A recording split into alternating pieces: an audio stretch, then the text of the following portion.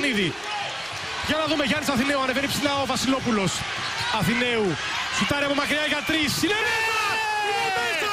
92-94, 3,4. ακόμα. Δεν τέλειωσε το Δεν μάτς. τέλειωσε. Φοβερό Τι ψυχή τρίποντο. αυτός τους Αθηναίους, τι ψυχή αυτός Θα τους δούμε Αθηναίους. αν είναι νικητήριο καλάθι από έναν συγκλονιστικό Γιάννη Αθηναίου σήμερα. Κοιτάξτε. Μπροστά με 2,94-92 και εδώ σε ρωτάω τώρα.